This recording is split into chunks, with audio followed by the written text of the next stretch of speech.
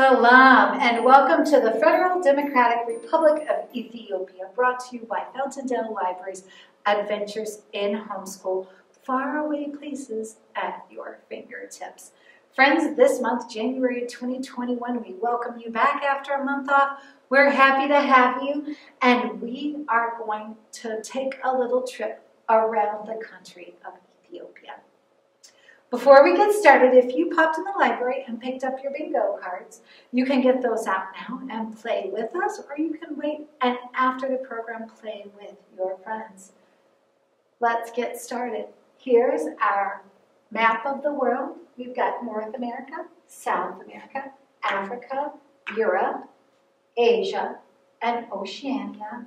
And friends, we find Ethiopia right here in the Horn of Africa. They refer to this part of Africa as the Horn of Africa because it sticks out kind of like a tusk on an elephant or an animal with a tusk. If we start over here where we live, you could get there either way by going west or east, but I feel like we might say the quickest way would be to go east. Most of the time when you go to Africa, you would leave here and go somewhere in Europe and then head down. So that's kind of the way you travel across the Atlantic Ocean and get there. Um, a little closer look, we can see again, Ethiopia is in the Horn of Africa. It's surrounded by Somaliland, Somalia, Kenya, South Sudan, Sudan, and Eritrea, and then Djibouti. So all of those countries surround, at one point in time, the area known as Ethiopia went all the way to the Gulf of Aden, but borders have changed over the years, and that is no longer the case. A little bit about Ethiopia. The government is this, the, it's a federal parliamentary republic where there is a prime minister who is the head of the government. Their president, Sahali Work Zeta, Zeta is the president. That's mostly just for um, presentations and things. The prime minister does most of the work of, of um, the business of the country. Their currency is called the Ethiopian birr. Their voting age, much like the rest of the world, is 18. And here is their flag. The colors all have a meaning, as often they do. The green stands for hope, abundance, and natural resources. The yellow for harmony and justice. The red for sacrifice. And the star in its rays represents unity and equality. The blue circle stands for peace. So, friends, the capital is Addis Ababa, and it's the highest altitude capital in all of Africa, kind of a little fun fact. And um, feel free to look up and, and check on the computer any facts you want to know about the government. Um, the, the languages they speak there, there is over 80 languages spoken in Ethiopia, a lot of indigenous languages, but uh, English and Amer Amharic is um, the main language spoken. Since we already speak English, we're going to try the Amharic. And it kind of is very, very similar to um, some of the other languages in Africa. But let's see if we can say it. Hello. So we're going to sound it out with the syllables. Te na istalen. Te na istalen. Hello. Oh, goodbye. You know, I hate saying goodbye, but let's try it. Denahun. Can you say it with me? Denahun. All right, we're going to say please, and don't forget to say that with a little bit of wet in your voice. A backen, a backen, a backen, please. Hmm. And of course, we could never forget our good manners and say thank you. Amashegnehu. Hmm. That's a toughie, isn't it? Amashegnehu. Hmm. You want to practice that at home. Yes is ao, and no is I, like I. Now, no is often no in lots of other languages, but in Amharic, it is I. So, yes, ao, no, I. All right. Did you know some fun facts? We're going to talk about this a little bit. In 1974, archaeologists in Ethiopia uncovered the, one of the oldest human skeletons ever found. They named her Lucy, and it's estimated that she is 3.2 million years old. Now, you know, scientists are always discovering and uncovering new things. This is a more recent discovery. We'll talk about it in a bit. Ethiopians only eat with their right hands. Hmm. Um, in Ethiopia, there is no such thing as a last name. Ethiopian children are called by their given names, and then they take their father's first name as their second name. Also, when women get married, they don't change their names to their husband's name. They keep their names the same. The ancient kingdom of Axum has giant stones called obelisks. They're pillars ranging from very small to very tall. And in the walled city of Harar, hyenas are respected and have been fed by hyenamen every night for centuries. The hyenas are believed to eat jinn, which is evil spirits. That's the legend that they have. Another really interesting thing about Ethiopia, friends, is their calendar is a little different. They have 13 months. Do you know how many months we have? We have 12. They have that 13 month calendar, and the first day of their year is September 11th. So they have all of these 12 months, and then they have this month called Pagum, which just means like extra couple days. So, like, it kind of means leftovers, which is kind of very interesting. But um, their calendar is a little different. Their time is also a little different because they're near the equator. They have roughly 12 hours of daylight and roughly 12 hours of night every day of the year.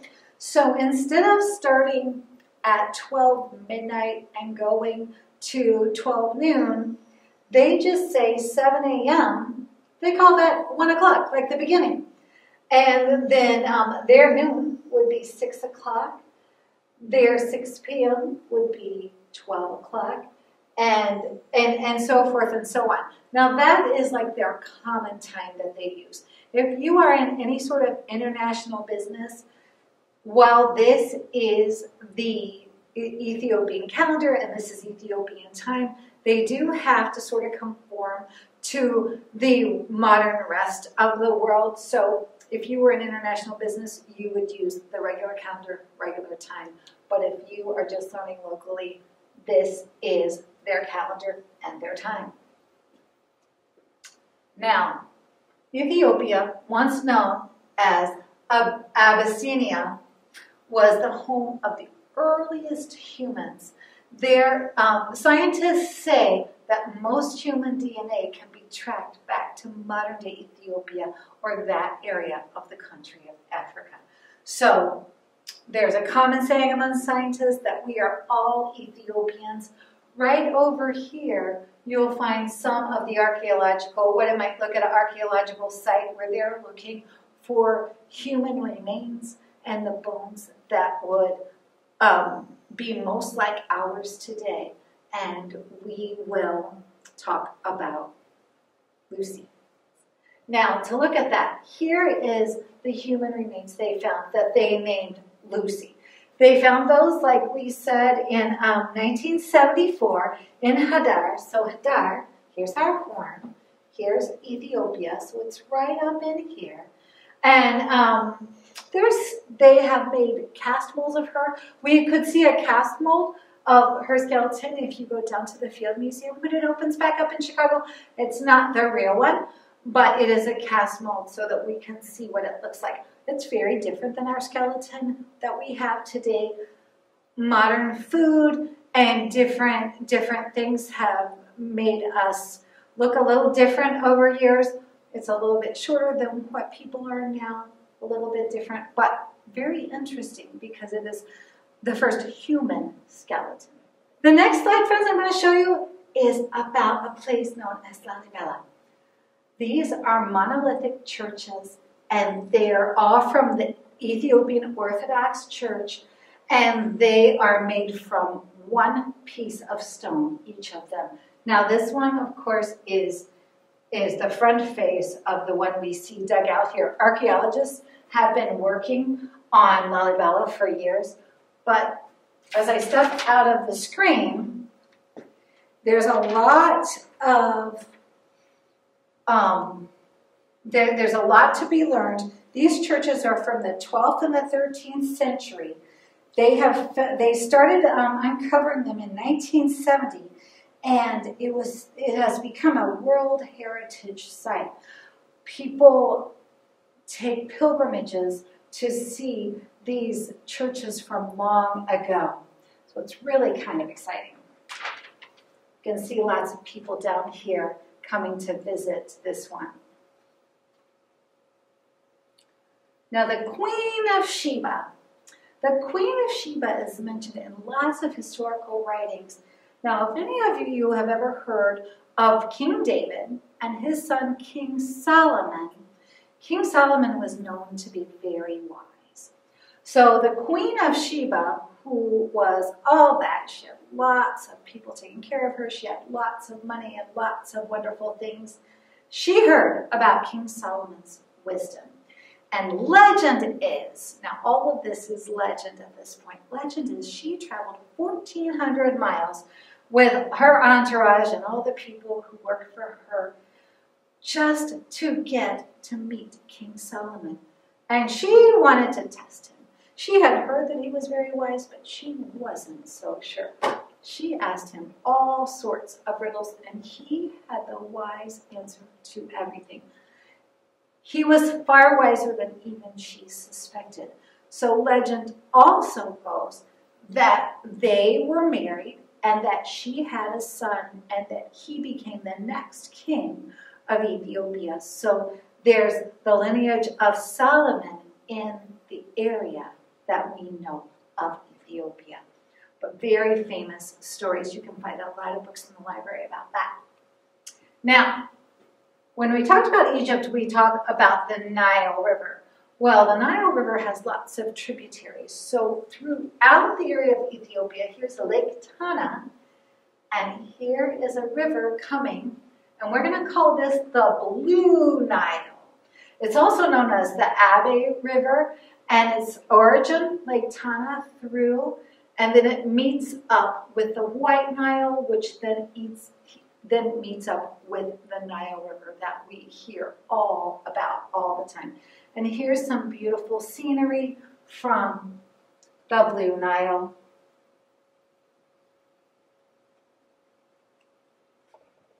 Also, there is the Danakil Desert. It's in the northeast area of Ethiopia. It also touches Eritrea and Djibouti. Um, it's one of the hottest places on the planet. It averages 122 Fahrenheit, that's 50 Celsius, but 122 Fahrenheit degrees on average, and it has less than one inch of rainfall all year. These are also in areas where there's fault lines. Does anybody know what happens where there's fault lines? Lots of volcano, lots of underground activity. So you can see from these pictures what it would look like if you were to visit the desert of Danakil. And um, lowest and hottest places on earth known for its volcanoes and extreme heat. All right, friends, our next slide, we're going to talk about something called the East African Rift. So let me explain a little bit. The East African Rift is an active continental rift zone in eastern Africa. This narrow zone is formed by divergent tectonic plates. So a lot like our ring of fire, it is um, an unstable piece of land and two tectonic plates, one's called the Somali plate and one is called the Nubian plate, and they are constantly moving and they are making, they are creating volcanic activity and different kinds of land movement. And so with that, it's created some beautiful, beautiful scenery. Now, it's been going on for years, and, and of course, scientists say that maybe in a lot of years from now, very possibly that Horn of Africa might separate from the entire continent of Africa. That remains to be seen. But the tectonic movement is through this area. So that's what gives them those ideas. So just something to think about. Some of the indigenous animals, I'm just going to step out of the screen. They have one, one third of the world's frog species live in Ethiopia. How about that? This is the ibex. And here's some Gelada baboons. Hmm. All right, anybody know what this is? Oh, goodness. Um, here's our mountain vervet. Here's a beautiful yellow-fronted parrot. A secretary bird. Look at that bird. He has lots of feathers on. And then a Somali wild donkey. We saw Somalia was near uh, Ethiopia, so some animals go back and forth from those countries are common in other countries. But these are just, uh, this is just a taste of some of the animals that are, that are indigenous to Ethiopia. Now, families. A huge portion of families in Ethiopia live in the rural areas. Not as many live in the urban areas, but what is more common, what families would want you to know, is that they live together in households. An average Ethiopian family would consist of three generations. That would be the eldest couple, which you might say were your grandparents, and then their sons, their sons' wives, then the unmarried daughters, and all of the grandchildren of those sons. Now, when their daughters marry, they go live with their husband's family. So you can see a couple of generational pictures here. This is a more urban family and this is a more rural family, but we just kind of wanted to give you a taste. There are big cities, obviously, and it is so hot that they can live in the huts and be quite comfortable. They don't need all sorts of stuff happening around them. And Ethiopian food. So they have a bread, a flat bread that they use. It's called injera, and you can eat it flat or you can roll it up, and you can see that it, it comes with every meal. Also, something, a big ritual they have there. They call it a coffee ceremony. Now, um, it's a it's a ritual of how to make some really, really good coffee. And it's a routine that is done by some families every single day, in fact, three times a day. There's a lot of time spent on the ritual of the coffee ceremony.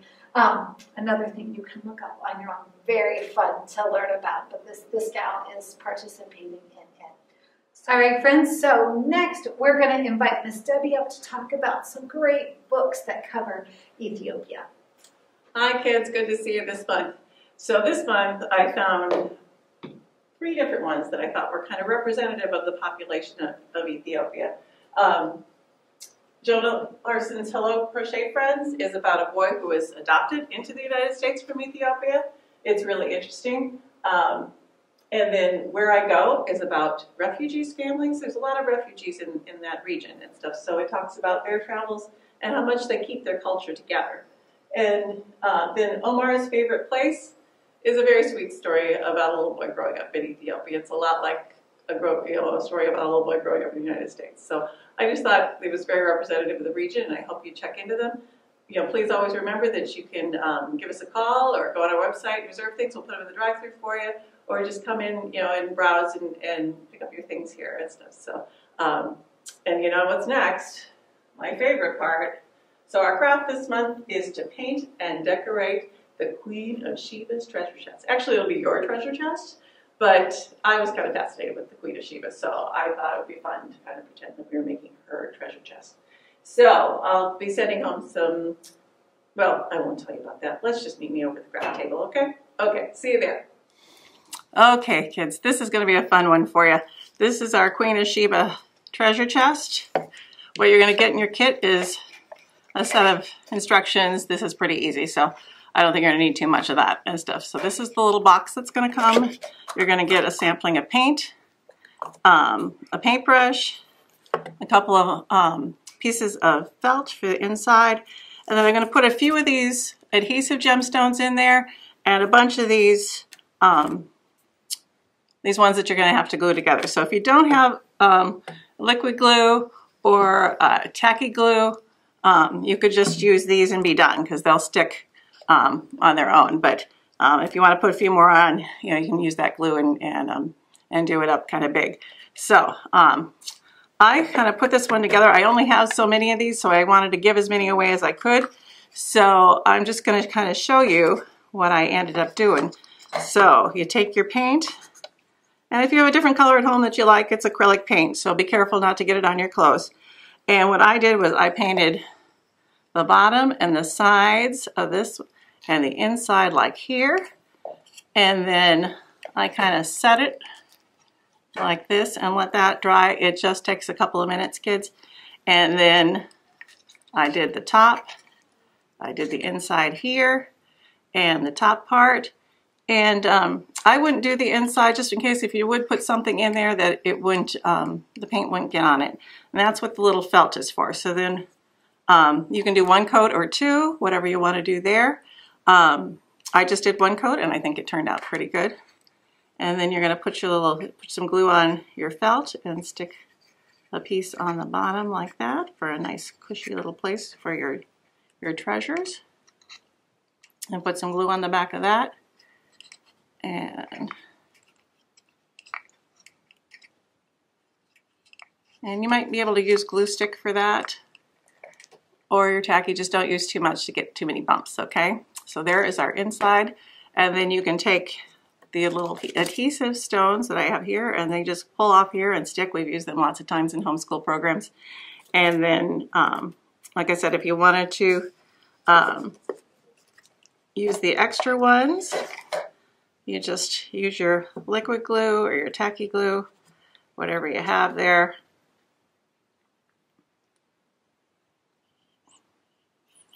And add on your, your stones that way. So I hope you have some treasure to put in the, the little chest. And we'll see you next month. Bye-bye.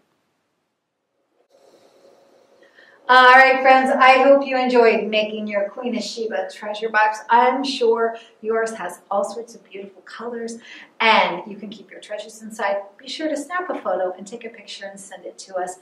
And friends, that's a wrap for today. Now here's our slide. Next month, February 2021, we are going to take a trip to Romania.